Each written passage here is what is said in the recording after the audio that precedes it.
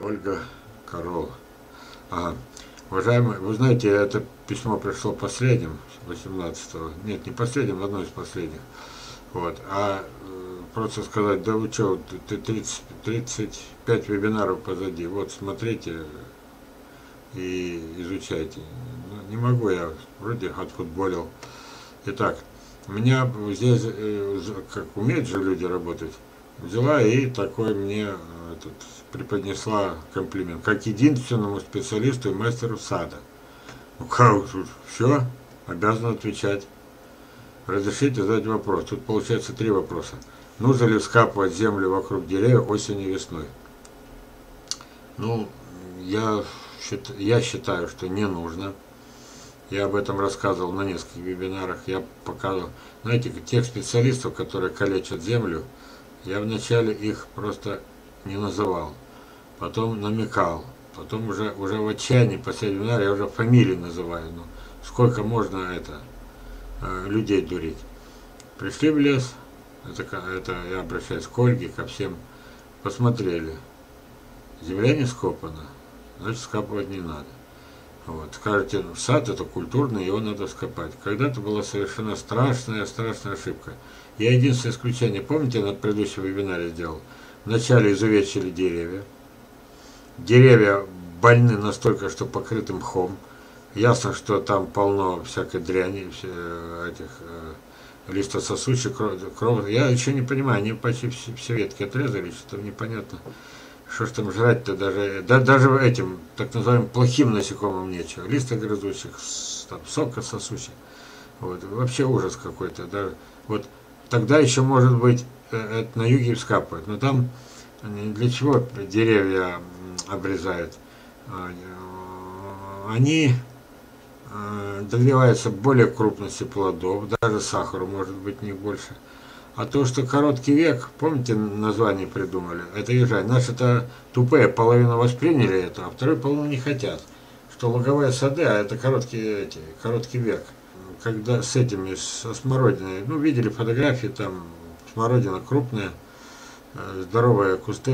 Я, я приводил пример. С пятого года отрезаем самую лучшую, самую мощную, самую спелую, ну, там, где получается максимум а, будущих плодов, то есть завязи, отрезаем ее на следующий год опять лучше, опять лучше, и получается 20 лет прошло, не, а, э, кстати, не идет речь о сеянцевых этих а, кустарниках, а я говорю про смородину, про сортовую.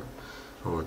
И вот 20 лет прошло, а она все в одной паре, и плоды крупные, и урожай. И главное, что с каждый раз, когда э, одна из пяти, там, шести веток отрезается, или там из десяти, но самая мощная, вот, у, у, вместе с ней уходят болезни. И вот, когда луговые сады на юге, там много обработок, уже понятно, куда деться. Плюс они еще что умудряются? Они умудряются еще э, это самое, с этими обрезками убирать часть, э, часть, часть. И короткая жизнь дерева, убирать э, вместе с ними и вредителей.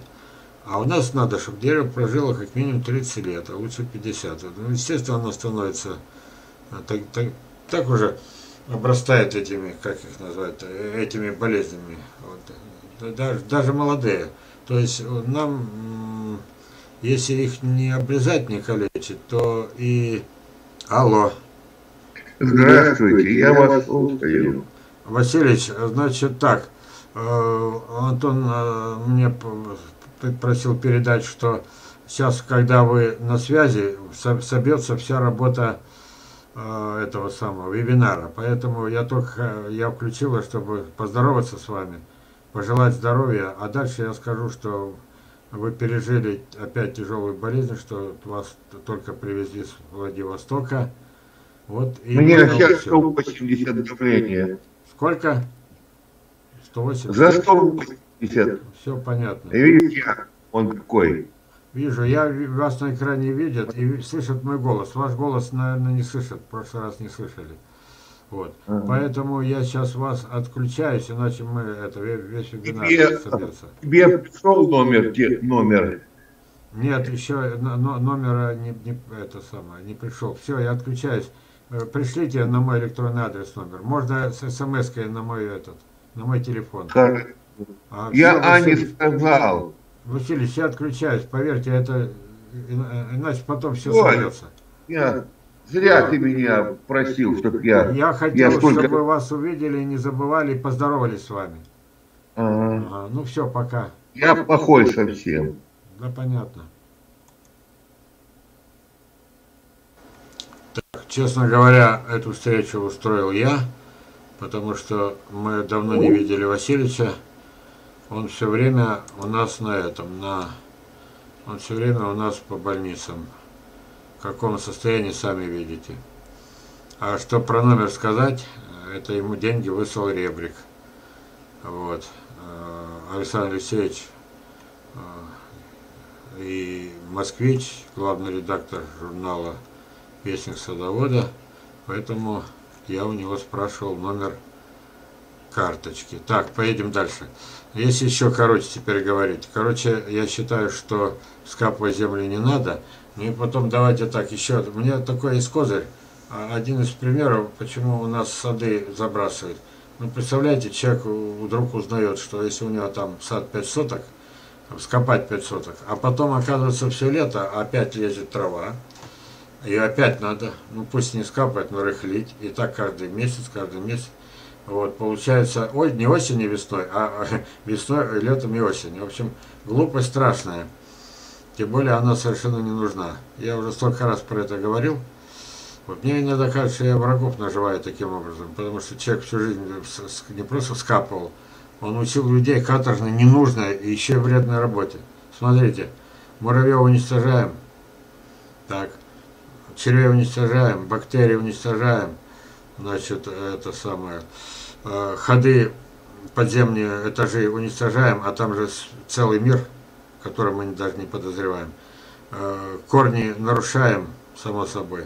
Значит, это самое, прекращается подача туда кислорода, а вся эти самые дебильные примеры, типа это, я говорю, это каким надо быть, чтобы взять и всю Россию учить с помощью вил подавать кислород, не имея ни по, ничего, ни понятия. Вот, я- когда они прекратят, меня вот это интересует. Ну ладно, я, я не мог. э, Дальше, нужно ли белить ствол дерева для защиты от морозобоя? Я не белю. Вот. Дело в том, что э, плюс на минус. Может быть, какой морозобоин станет чуть-чуть меньше. Но дерево, они имеют свою природную окраску. И Речь идет о коре штамба и скелетных веток. Она имеет свою окраску. Окраска для того, чтобы впитывать солнечные лучи. Не забывайте, где мы живем. Слово морозобойный, наверное, это про морозно, морозобой, морозные э, страны.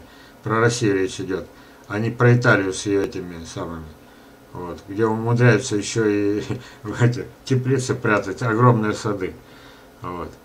Ну ладно, я этого не делаю, потому что плюс на минус, и я не вижу никаких преимуществ. Если бы у меня сады погибали бы, как я, я не, по, не побелил, он погиб, то что-то у меня такого не было. У меня в этом году, по-моему, не, не это самое, только не- несколько персиков погибло.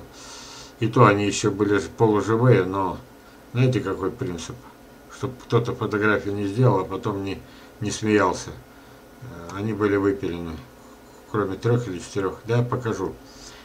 Так, в общем, главная задача темный ствол – это впитывание тепла, солнечного тепла. Поэтому я не белю. Как часто поливать деревья летом в засушенных регионах? Естественно, поливать надо.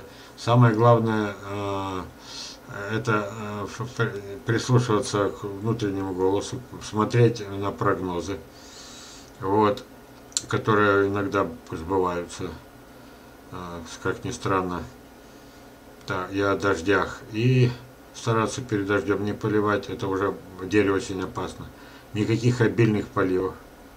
Я их называю не обильные, а дебильные. Никаких про почву там на метр или на два промочить, потому что те, кто это, они же не дерево, они же, понимаете, они даже не пробка, есть такое пробковое дерево, они даже не пробковое дерево, они люди, которым э, кажется, что так надо. Сами ведро воды не пьют за раз, вот, а деревья заставляют. Получается, никаких норм нет, никаких рецептов нет.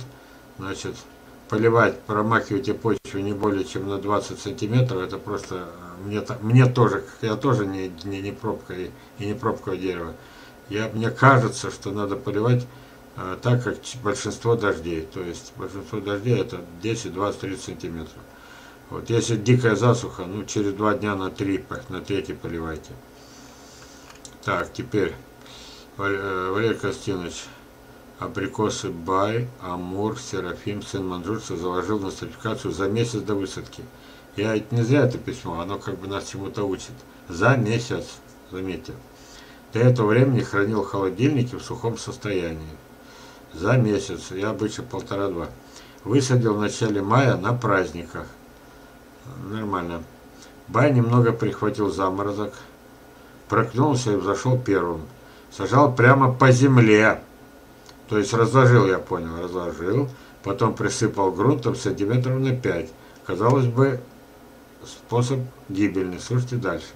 Постепенно поливая все, чем присыпал, смыл напором воды из шланга, не с первого раза, дал немного подрасти. Сейчас сеется высотой 20-25 сантиметров, полив раз в неделю, спасибо за косточки. Вот, так себе вообще план, будут ли в этом году косточки персика. Тут получается в начале про косточки чуть-чуть позже, не будут, если в двух словах. Сейчас сеется высотой. Смотрите, он мне присылает вот такую фотографию. Если приглядитесь, друзья, в этот раз экран сделайте, какой широкий сделал. Потому что вот я не знаю, как он умудрился мне столько косточек выписать, я не помню. Ну, наверное, сотни, потому что здесь такое впечатление, что все взошли. Так. Такое впечатление, что он все сотни взошли. Это просто это. Естественно, что 5 сантиметров это было в начале. А потом смыл лишнее напором воды со шланги. Ну, помните мои примеры, друзья присылали, раскапывали, спасали и так далее. Вот. То есть вот это хороший пример. А больше всего мне нравится, а нет, ладно, мы уже повторяться не могу, два раза говорил.